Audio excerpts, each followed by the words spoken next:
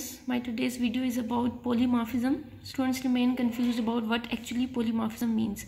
We all know that polymorphism means different types of phenotypic expression of a gene that is present in a particular population. As we have discussed earlier, that polymorphism is the attribute of a population. Different forms of a gene present in a population, different forms of allele present in a population is called a polymorphism. Poly means many and morph means types that is different forms or different types of phenotypic expressions that a population shows is called polymorphism. In contrast, monomorph means one type of phenotypic expression that is the characteristic of a different population.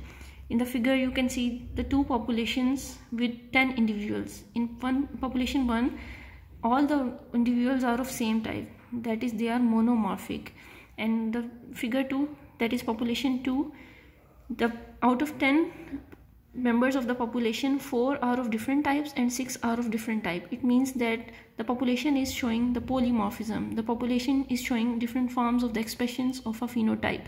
So in the monomorphic population all individuals show the same phenotypic expression and in the polymorphic population the individual shows different forms of a phenotypic polymorphism can have can have positive effect or negative effect in a population. Sometimes it helps in the natural selection sometimes it may prove lethal.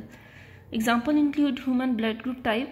As we all know that there are four different forms of human blood group types which gives the diversity of blood phenotype. So if there will be more polymorphism there will be more diversity. If there will be less polymorphism there will be less diversity. And we know that uh, variation or different forms or diversity leads to the, towards the evolution so polymorphism can lead towards the evolution